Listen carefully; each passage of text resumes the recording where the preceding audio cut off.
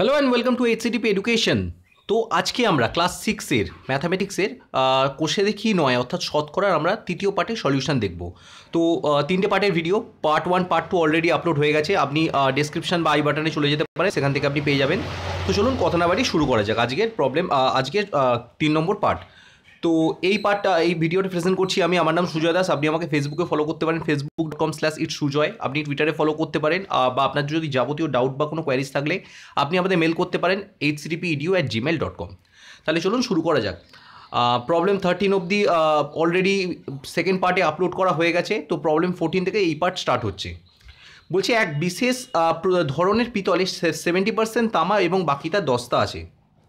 তো ব্রাশ মানে হচ্ছে পিতল। আমি যেটাকে আমি আমি প্রথমত বলে দিই যে, আপনি যদি প্রথমবার ভিডিওটা দেখে থাকেন, তাহলে বলব এটা বাইলিঙ্গুয়াল ভিডিও অর্থাৎ কোয়েশ্চেনগুলো বেঙ্গলিতে কোয়েশ্চেনটা বেঙ্গলিতে অ্যান্সারটা ইংলিশে করে দেওয়া আছে। কারণ ওয়েস্ট বেঙ্গল বোর্ডের দুরকমই মিডিয়াম আছে বেঙ্গলি অ্যান্ড ইংলিশ মিডিয়াম তো সেক্ষেত্রে যাতে আমার এই ভিডিও দুরকম স্টুডেন্টরাই সুবিধা পায়, তার জন্য করা।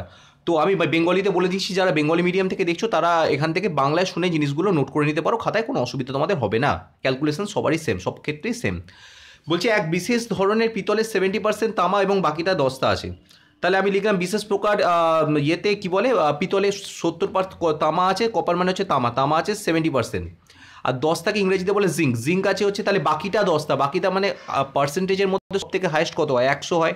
তাহলে একশোর মধ্যে সত্তর যদি কপার হয়, তাহলে বাকি দশটা কতটা হবে? Hundred minus seventy equals thirty percent thirty percent হচ্ছে কি দশটা বা জিঙ্ক আছে কতটা? থার্টি পার্সেন্ট তো টোয়েন্টি কেজি এরকম পিতল তৈরি করতে কত কত কেজি দশটা লাগবে? তাহলে টোয়েন্টি কেজি পিতল তৈরি করতে আমাদের দশটা লাগবে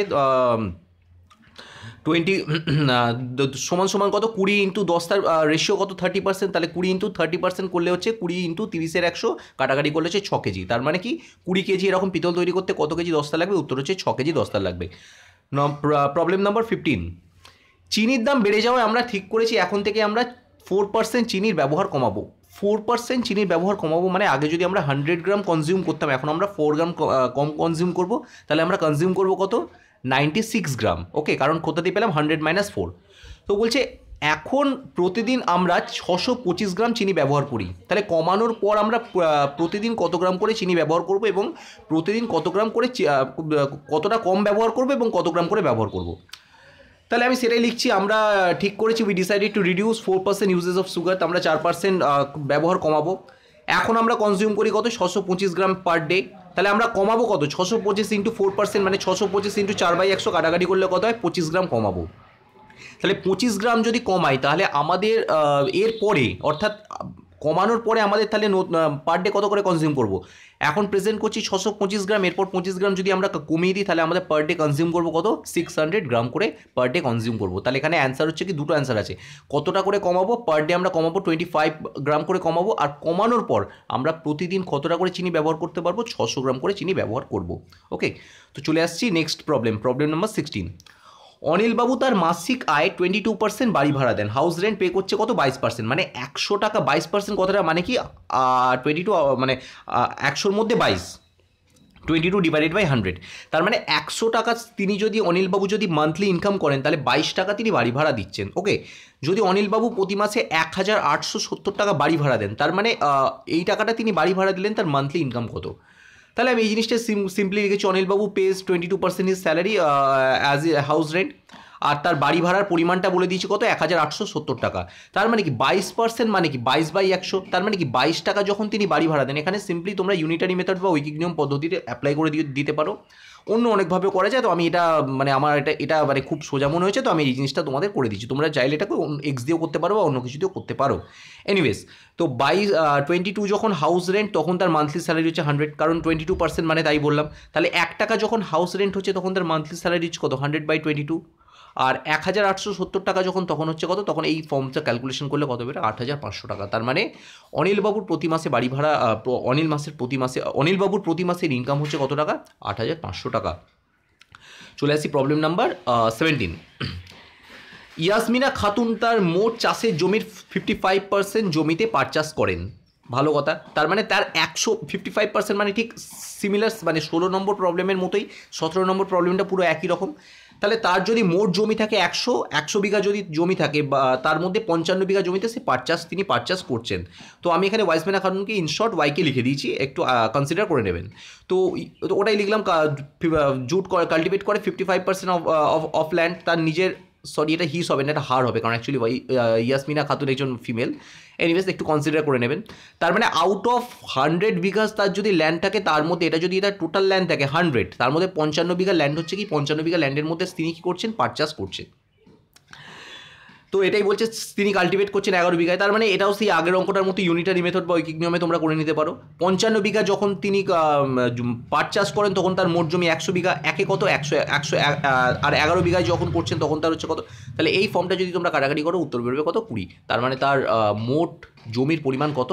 কুড়ি বিঘা হচ্ছে জমি। তার ফিফটি ফাইভ পার্সেন্ট করলেই তোমরা এগারো পাবে। ওকে তো চলে আসছি প্রবলেম নাম্বার এইটিন এই প্রবলেমটা একটুখানি বুঝবে, এই প্রবলেমটা দুটো পার্টে আছে। প্রবলেম নাম্বার এইটিনের এটা হচ্ছে পার্ট ওয়ান এটা হচ্ছে সেকেন্ড পার্ট মানে কন্টিনিউ হচ্ছে প্রবলেমটা ওকে বলছে, আমাদের পরিবারের মোট মাসিক খরচ চার হাজার সাতশো পঞ্চাশ টাকার জন্য খাওয়ার জন্য ব্যয় করা হচ্ছে। তার মানে আমরা ফুডের পিছনে আমাদের আমি একবার মানে প্রবলেমটা বোঝাতে বোঝাতে তোমাদের বলছি। খাওয়ার জন্য আমরা প্রতি মাসে খরচা করছি কত? চার হাজার সাতশো পঞ্চাশ টাকা ফোর সেভেন ফাইভ জিরো এবং আদার এক্সপেন্সেস কত? পাঁচ হাজার নশো টাকা ওকে তো আমরা ঠিক করলাম খাওয়ার মানে ফুড এক্সপেন্ডিচার বা খাওয়ার খরচকে কত? টেন পার্সেন্ট বাড়িয়ে দেবো। আর অন্যান্য এক্সপেন্ডিচারকে কত? ষোলো পার্সেন্ট কমিয়ে দেবো।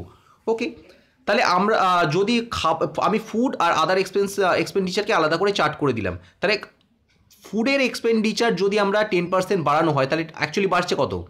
Four seven five zero into ten by hundred তাহলে কাটাকাটি করলে কত বেড়েছে? চারশো পঁচাত্তর টাকা বাড়ছে।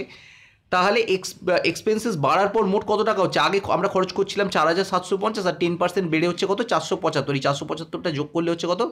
পাঁচ হাজার দুশো পঁচিশ। তার মানে পাঁচ হাজার দুশো পঁচিশ টাকা হচ্ছে কি আমার? এই মানে খাবার খরচ টেন পার্সেন্ট বাড়ানোর পর এই ফ্যাক্টরটা দাঁড়াচ্ছে। কিন্তু অন্যদিকে আমরা যখন আদার বলছি আদার এক্সপেন্ডিচার কত? পাঁচ হাজার নশো টাকা। পাঁচ হাজার নশো টাকার মধ্যে আমরা কি করছি? এটাকে আমরা সিক্সটিন পার্সেন্ট কমাবো। অন্যান্য খরচকে ষোলো পার্সেন্ট কমানোর চেষ্টা করছি। তাহলে এক্সপেন্স এক্সপেন্ডিচার আমরা মানে কমাবো কত অ্যাকচুয়ালি ষোলো পার্সেন্ট কত? পাঁচ হাজার নশো ষোলো পার্সেন্ট করলে বেরো হচ্ছে কত? নাইন ফোর ফোর বা নশো চুয়াল্লিশ টাকা। তাহলে এখানে যেহেতু বাড়াচ্ছি, তাই প্লাস করছি, এখানে যেহেতু কমাচ্ছি, তাই আমরা মাইনাস করছি। তাহলে আমরা যদি কমাই সিক্সটিন পার্সেন্ট কমানোর পর আমাদের খরচ দাঁড়াবে কত? পাঁচ হাজার নশো টাকা এখন মানে আগে করছিলাম, তারপর নাইন ফোর ফোর মাইনাস করলে বেরোবে ফোর নাইন ফাইভ সিক্স এটা এই দুটো হচ্ছে আমাদের মানে অ্যাডজাস্টমেন্ট করার পর নতুন এক্সপেন্ডিচার এবার বলছে, তাহলে তার মাসিক খরচ বাড়বে না কমবে? আচ্ছা মাসিক খরচের মধ্যে কি ফুড প্লাস আদার এক্সপেন্ডিচার এই দুটো ছিল?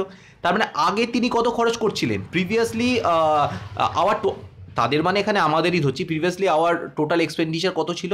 আমরা ফুডের জন্য খরচা করছিলাম কত? চার হাজার সাতশো পঞ্চাশ আর এখানে হচ্ছে ফাইভ নাইন ডবল জিরো তাহলে four seven five zero plus five nine double zero দুটোকে যোগ করলে হচ্ছে কত? দশ হাজার ছশো পঞ্চাশ। তার মানে দশ হাজার ছশো পঞ্চাশ টাকা আমরা আগে খরচা করছি। কিন্তু অ্যাডজাস্টমেন্টের পর আমাদের ফুডের পিছনে খরচা বেড়ে কত হয়েছে? পাঁচ হাজার দুশো ফাইভ টু টু ফাইভ আর এখানে হচ্ছে four nine four nine five six তাহলে ফাইভ টু টু ফাইভ আর ফোর নাইন ফাইভ সিক্স এই দুটো যোগ করলে এখন আমাদের এক্সপেন্ডিচার দাঁড়াচ্ছে কত? দশ হাজার একশো একাশি টাকা। তাহলে ডেফিনেটলি আমাদের অ্যাডজাস্টমেন্ট করার ফলে কী হচ্ছে কমেছে। আগে আমাদের দশ হাজার ছশো পঞ্চাশ টাকা হচ্ছিল। সেখানে এখন কত হচ্ছে? দশ হাজার একশো একাশি টাকা।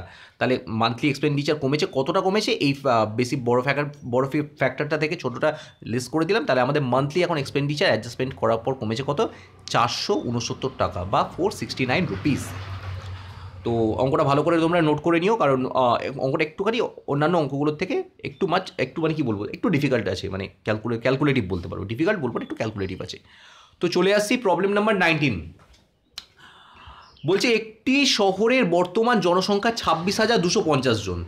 যদি বার্ষিক ফোর পার্সেন্ট হারে জনসংখ্যা বাড়ে, তবে পরের পরের বছরের জনসংখ্যা কত হবে হিসাব করে দেখি, এবং দু বছর পরের জনসংখ্যা কত হবে দেখি।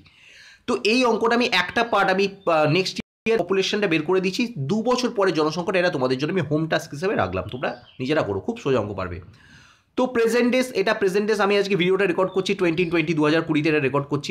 আজকে রেকর্ডিং ডেট হচ্ছে twenty twenty third of May twenty twenty তো আজকে আমি ধরে নিচ্ছি আমার যে আমি যে শহরে আছি, সেই শহরের পপুলেশন কত?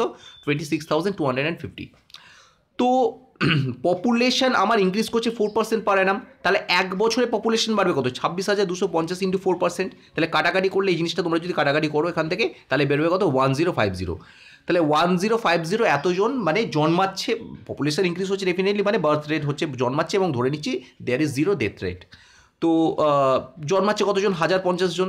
তাহলে এক বছর পরে পপুলেশন কত হবে? এক বছর পরে পপুলেশন হচ্ছে ছাব্বিশ হাজার, এটা হচ্ছে আমার দু হাজার দশের পপুলেশন এই দু হাজার কুড়ির পপুলেশন আর বাড়ছে কত? হাজার পঞ্চাশ জন। তাহলে দু হাজার একুশের পপুলেশন হবে কত? এই দুটোকে যোগ করে দিয়ে দাঁড়াবে সাতাশ হাজার তিনশো জন। এটা হচ্ছে এক বছর পরে। তো এটা আমার ফার্স্ট পার্টের অ্যান্সার বেরিয়ে গেল। দু বছর পরে জনসংখ্যা কত হবে? তাহলে দু বছর পরে তোমরা এটা- তোমাদের জন্য টাস্ক হিসাবে কী রইল? তোমরা এখানে এই সাতাশ হাজার তিনশোর উপর আবার ফোর পার্সেন্ট করবে। এই ফ্যাক্টরটা বেরোলো। এটাকে এটাকে তোমরা এবার বেস ধরে নেবে। কারণ এটা টোয়েন্টিন টোয়েন্টি ওয়ান তো টোয়েন্টিন টোয়েন্টি ওয়ানে তোমরা এটাকে বেস ধরে নিলে বেস ধরে নিয়ে এর উপর তুমি তোমরা আবার ফোর পার্সেন্ট করলে ফোর পার্সেন্ট করে যেটা বেরোলো সেটার সাথে আবার টোয়েন্টি সেভেন থাউজেন্ড থ্রি হান্ড্রেডের সাথে অ্যাড করে দেবে। তো তোমরা দেখবে দু বছর পরে জনসংখ্যা কত হবে সেটা তোমরা বের করে নিতে পারছ ইজিলি চলে আসি আজকের এই তোমাদের এই চ্যাপ্টারের লাস্ট অঙ্ক প্রবলেম নাম্বার টোয়েন্টি কুড়ি। ফসল ওঠার মুখে ধানের দাম ছিল প্রতি কুইন্টাল ছিল কত? হাজার আশি টাকা ওয়ান জিরো এইট জিরো টাকা ছিল। বর্ষাকালে ধানের দাম টেন ফিফটিন পার্সেন্ট বৃদ্ধি পেয়েছে ইনক্রিজ হয়েছে। তো বলছে, একটা যে কৃষক ফসল ওঠার মুখে বারো কুইন্টাল ধান বিক্রি করেছে, তিনি বর্ষাকালে যদি সেই ধান বিক্রি করতেন, তাহলে কত টাকা তিনি পেতেন? তো বিক্রি তো করে ফেলেছেন, কিছু করার নেই। কিন্তু যখন দেখছে বর্ষাকালে মানে গরমকালে, আমি ধরে নিচ্ছি যে, গরমকালে তিনি বিক্রি করে ফেলেছেন, এবার তিনি তিনি মানে অঙ্কটা বলেছে, তিনি যদি গরমকালে না বিক্রি করে, এটা যদি তিনি বর্ষাকালে বিক্রি করতেন, তাহলে তার কতটা প্রফিট হতো বা কত টাকা তিনি এক্সট্রা পেতেন? তাহলে আমরা লিখলাম প্রথমে তার বিগিনিংয়ে চালের দাম ছিল কত? ওয়ান জিরো এইট জিরো আর মনসুনে বর্ষাকালে এটার দাম বৃদ্ধি পেয়েছে কত? পনেরো পার্সেন্ট মনসুন মানে হচ্ছে বর্ষাকাল। বর্ষাকালে দাম বৃদ্ধি পেয়েছে পনেরো পার্সেন্ট তাহলে প্রাইস অ্যাকচুয়ালি বেড়েছে কতটা বর্ষাকালে? হাজার আশির ওপর পনেরো পার্সেন্ট করলে কত? একশো বাষট্টি টাকা। তাহলে একশো বাষট্টি টাকা প্রাইস দাম বেড়ে গেছে। তাহলে নতুন প্রাইস হয়েছে কত? হাজার আশি প্লাস একশো বাষট্টি মানে হচ্ছে ওয়ান টু ফোর টু এক হাজার দুশো বিয়াল্লিশ টাকা হচ্ছে নতুন প্রাইস তো বলছে ফার্মার বারো বারো কুইন্টাল ধান কি করেছে? বারো কুইন্টাল ধান বা চাল সে সেল করেছে প্রথমে বিগিনিংয়ে মানে আমি ধরে নিচ্ছি গরমকালে। তাহলে তিনি, তখন তো রেট যাচ্ছিল হাজার আশি টাকা। তাহলে হাজার আশি টাকা করে তিনি বারো কুইন্টাল সেল করলে তিনি মোট পেয়েছেন হাজার আশি ইন্টু টুয়েলভ করলে হচ্ছে বারো হাজার নশো ষাট টাকা। কিন্তু বর্ষাকালে এই রেটটা দাঁড়িয়ে গেছে কত? হাজার আশিটা চেঞ্জ হয়ে বেড়ে- গেছে কত? এক হাজার দুশো বিয়াল্লিশ টাকা। তাহলে যদি তিনি এটাকে মনসুনে সেল করতেন, তাহলে তিনি পেতেন এক হাজার দুশো বিয়াল্লিশ টাকা, কারণ এটা নতুন রেট এই নতুন রেটের ওপর বারো দিয়ে মাল্টিপ্লাই করলে এটা আমি আর করলাম ও সরি এখানে আমি লিখতে এটা ভুলে গেছি এনিওয়েজ তো এটা করলে হতো চোদ্দ হাজার নশো চার টাকা। আমি এখানে এটা লিখতে জাস্ট টাইপ লিখতে ভুলে গেছি, এই যে ফ্যাক্টরটা fourteen thousand nine hundred and four এই টাকাটা তিনি পেতেন। তো তাহলে তিনি এটা ডেফিনেটলি বেশি পেতেন, কতটা বেশি পেতেন? এই যে ফ্যাক্টরটা হতো চোদ্দ হাজার নশো চার, এটা এখানে এখানে এই জিনিসটা এখানে লেখা হয়ে যাবে, তোমরা একটু নোট করে নিও। তো চোদ্দ হাজার নশো চার থেকে আমরা যদি বারো হাজার নশো ষাট, কারণ বারো হাজার নশো ষাট টাকা তিনি অলরেডি পেয়েছেন, আর তিনি পেতে পারতেন যদি বর্ষাকালে বিক্রি করতেন, তাহলে চোদ্দ হাজার নশো চার টাকা। তাহলে এটা ডিফারে মানে আমরা যদি মাইনাস করি, তাহলে ডিফারেন্স অ্যামাউন্ট হচ্ছে এক হাজার নশো চুয়াল্লিশ টাকা। তাহলে এটাই তার প্রফিট হতো এক্সেস প্রফিট হতো। তো এইখানের সাথে আমাদের এই এই চ্যাপ্টারটা পুরো শেষ হয়ে গেল, তিন নম্বর পার্টও আমাদের শেষ। আই হোপ তোমাদের সকলের ভালো লেগেছে। তো এই ক্লাস তোমাদের এই ক্লাস সিক্সের সব এবং প্রত্যেকটা ক্লাসেরই অন্যান্য ভিডিও লেকচারগুলো বা অন্যান্য চ্যাপ্টার ওয়াইজ যদি লেকচার দেখার থাকে, তাহলে তোমরা ডেফিনেটলি চ্যানেলের প্লেলিস্টে গিয়ে চেক করে নিতে পারো। So thanks for watching